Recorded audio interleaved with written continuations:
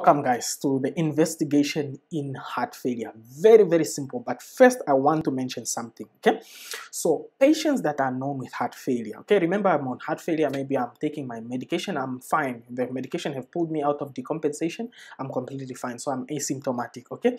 But then I get an infection and boom, I'm orthopneic, I'm having PND. So that's what's called decompensated because when you're on the drugs, you're fine. So you're compensated. So your chronic heart failure is compensated because you are taking your medication, you're not doing the wrong things. Okay. Then you get an infection or you got a maybe anemia or something, then boom, your symptoms are back. That's what we call you precipitated something or you triggered heart failure, or what you call decompensated heart failure. Now, what are those things that can decompensate heart failure? It's actually a mnemonic. It's called failures. Okay, F is actually for failure to take medication. That's very common in our setting. Patients stop taking their medication, boom, they decompensate. Okay, A for arrhythmias very important especially atrial fibrillation especially in the elderly very common in our setting to decompensate a patient okay number two thing is i i is for infarct okay if the patient had the myocardial infarction infarct okay or the patient has uh, ischemia a current ischemic event or finally an infection. Very very common in our setting especially infection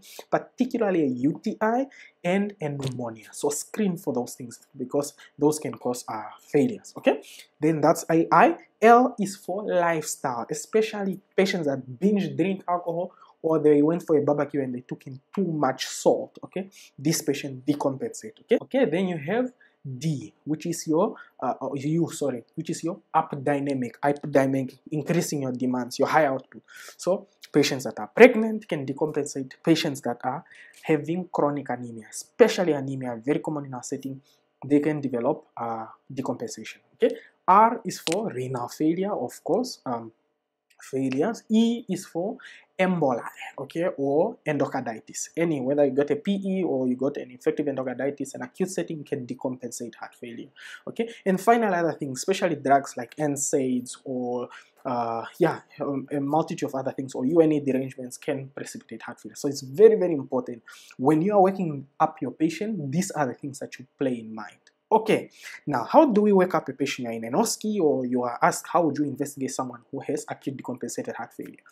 Always group your things, okay? You say number one, doctor, I'll do my bedside test, then bloods, which is your serology, then imaging.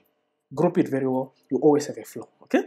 Uh, for the bedside, I mean, think about the bedside. You can do an ECG. Okay, what will it tell you? It will tell you is the patient having AFib. Remember, it's decompensated, so arrhythmias, ne? Such as AFib. Okay, is the patient having an MI? Okay, signs of ischemic heart disease because that can precipitate heart failure. Yeah, and of course, any other features that will be helpful: chamber enlargement, uh, left ventricular hypertrophy that are in keeping. Maybe we can try to find out the likely pathology under it. Okay. What else can you do at the bedside? An echo, as much as in our setting is not always at the bedside, echo is actually a bedside test, okay? Because it's just an ultrasound of the heart, okay? So it's not always useful to do it in the acute setting. Always remember that. In the acute setting, it's not useful, always. Um, the indications for using an ultrasound, uh, an echo in the acute setting are in the management video.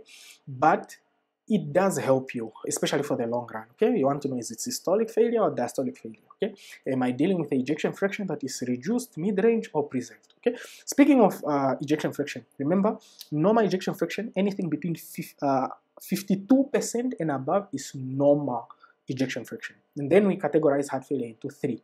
Okay, either it's preserved, preserved preserved ejection fraction is any ejection fraction above 50%. 50% and above is preserved. Then we have mid-range, which is 40 to 49. And then anything lower than 40% is called reduced ejection fraction. Okay, so again, the echo will help you. Are you having a valve problem? Are you, what's the likely pathology that you will pick up? Okay, so echo is really useful. And finally, the third bedside test that you have to do is a urine dipstick. Why? Because remember, UTI is very common precipitant for heart failure. Then you say, I'll do the bloods. Okay, bloods, what am I looking for? Number one, I'll look at the FBC. Okay? Why am I looking at the FBC? White cell count, because the patient can be anemic. Anemia is a precipitant. Okay, then why else are you looking at the FBC? Um, not white cell count, so the Hb for your anemia, then white cell count for infection. If I'm having a pneumonia or UTI, it will be raised. Okay, so that's useful to do. Okay, what else are you going to look at? U&Es. Okay, remember you are going to give ACE inhibitors, you are going to give spironolactone. All those things can cause hyperkalemia. If the patient is already hyperkalemia, you probably don't want to give those drugs. Number two, remember U&E derangement, renal failure can precipitate heart failure. Okay. Number three, what you look at, you can do LFTs, not always advised because it doesn't change management. Okay. LFTs, of course, if I'm having right-sided heart failure, my liver is uh, congested, so you have a clinical picture. There will be deranged uh, transaminases because obviously you are congesting the liver, but the clinical significance is very irrelevant. Okay. Number four, they you look at you screen for thyroid. Remember hyperthyroidism maybe that's somewhere we need to fit into failure. Hyperthyroidism is one of the things you always have to roll out because it can precipitate heart failure. And it's under that up dynamic your pregnancy your chronic anemia and hyperthyroidism very important because it can precipitate heart failure. So you screen with tsh you don't do the whole profile tsh should be enough Okay, because if it's low, then you're thinking, I'll do the whole panel to look for hyperthyroidism. Okay, what else are you going to do? This a test called brain natriuretic peptide. That's what we used to call it in the past. Now we call it B-type natriuretic peptide. Okay, it's actually a hormone that is produced when the heart is stretched, okay, especially the ventricles. There's this hormone called uh, B-type natriuretic peptide that is released by the um, the heart. Okay, so it's helpful, B-type natriuretic peptide is helpful to do it in the clinical setting because in the acute setting, we do it in the acute setting because sometimes it's very hard to differentiate uh, um, acute dyspneas because patient just comes in with dyspnea. You will not say I have heart failure or I have lung pathology. It's very hard to differentiate, for example, a acute decompensated heart failure from say an exacerbation of COPD. Very, very hard because they almost present the same way. So how do you differentiate that? Is this the heart that is causing the dyspnea or is this something else? Okay. So if B-type natriuretic peptide is raised, then you are sure it's the heart because it's only the heart that produces that hormone. Okay, it's very useful in the acute setting if you are not sure is this dyspnea coming from the heart, is this dyspnea coming from somewhere.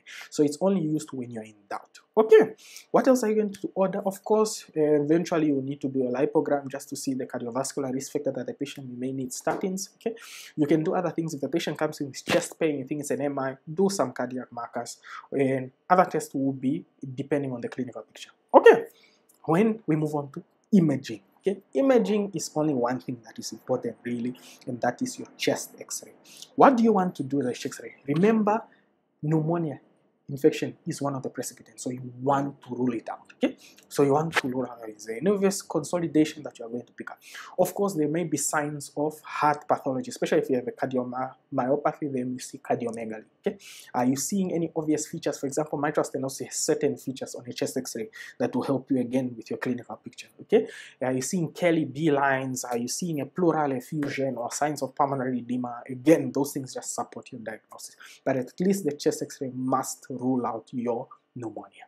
That is how you investigate a patient with heart failure. And the final thing that uh, I want to talk about is how do you diagnose left heart failure? This is important because it just come in MCQs, and that is by the modified Framingham, as I'm showing it there. Okay, the major criteria and the minor criteria. Okay, the major criteria is your PND, S3 gallop. Remember, a gallop, especially S3, is very specific for heart failure. The moment the patient has an S3 gallop, you know it's one of the most specific uh, signs that the patient is in overt heart failure, especially left heart. Okay, the patient has rales, okay, radiologic cardiomegaly, okay, radiologic pulmonary edema. And then your minor is your dyspnea on ordinary exertion, nocturnal cough, tachycardia of greater than 120, radiologic pleural effusion, weight loss of greater than 4.5 in 5 days in respiratory, uh, in resp to diuretic treatment or whatever. Okay, so I hope that concludes how do you investigate a patient with heart failure.